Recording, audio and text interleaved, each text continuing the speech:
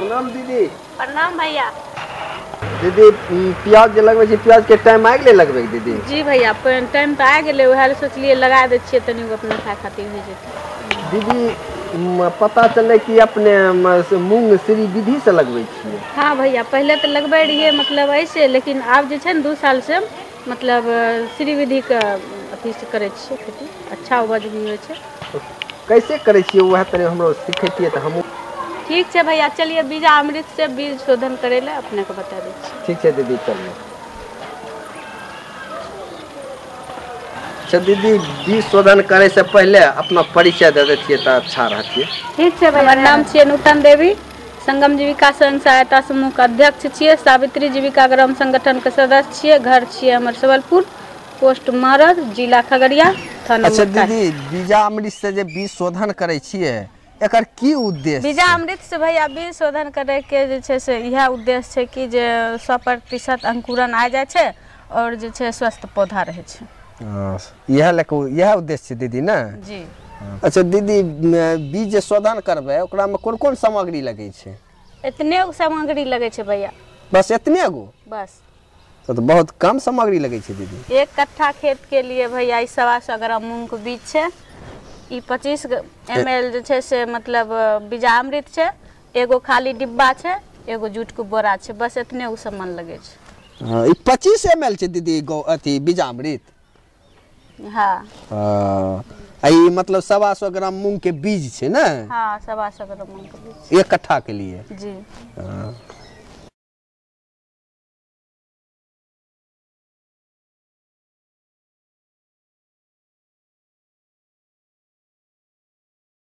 अच्छा दीदी, आप ई की करबै? केना बीज शोधन करबै? अच्छा हम बतबै छियै भैया। पहिले बीजामृत के जे छै ने, से एहिमे डालै छियै। आब एहिमे डालि देलियै, तऽ आब बीज एहिमे डालि देबै।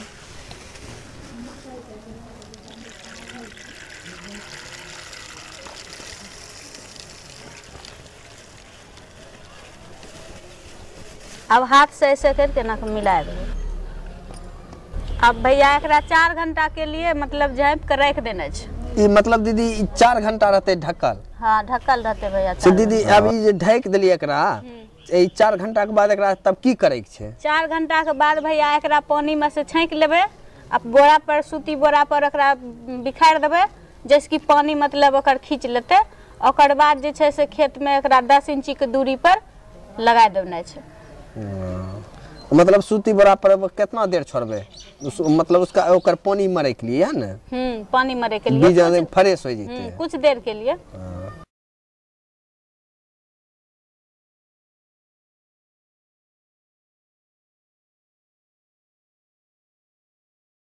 अच्छा दीदी ई जे बीज शोधन करके बीजामृत से लगबै छियै बीज के एकरा से की लाभ छै दीदी?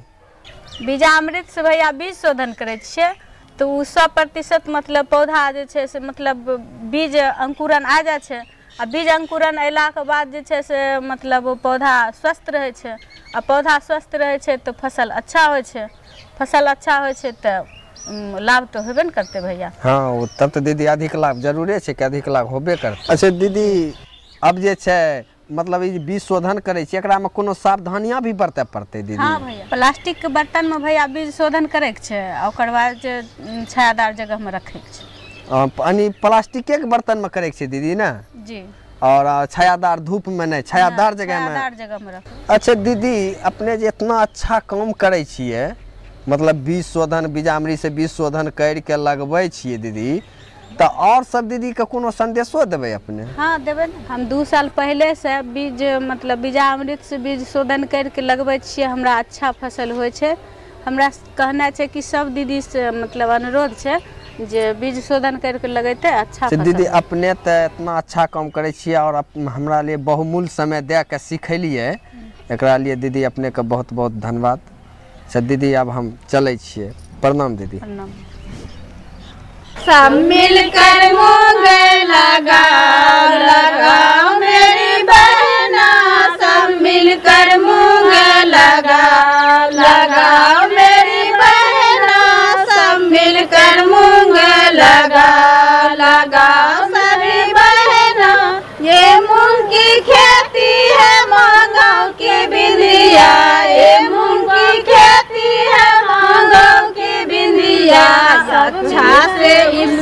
सजाओ सजाओ मेरी बहना अच्छा से इसको सजाओ सजाओ मेरी बहना सब मिलकर मुँह लगाओ लगाओ मेरी बहना अब मिलकर मूँगे लगाओ लगाओ मेरी बहना सब मिलकर मेरी बहना सब